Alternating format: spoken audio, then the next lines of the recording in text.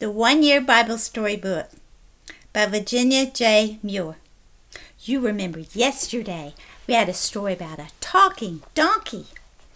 Well, today continues our story in Numbers chapter 22 through 24.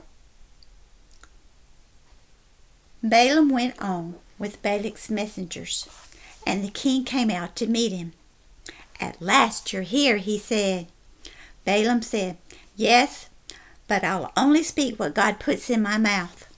The next day he told Balak to build seven altars and prepare seven bulls and seven rams for sacrifice. He and King Balak each sacrificed one of the bulls and one of the rams. Then Balak went off alone to ask God what he should say about Israel. God sent him back, and when Balaam spoke, everything he said was a blessing upon the people of Israel. This made Balak really angry. He took Balaam to a different place, and they built seven more altars and made sacrifices.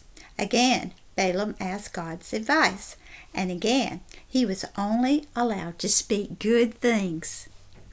Balak said, Listen, maybe you can't curse them, but at least don't bless them. They're my enemies. The same thing happened once more. And at last Balak said, I give up. Go on home.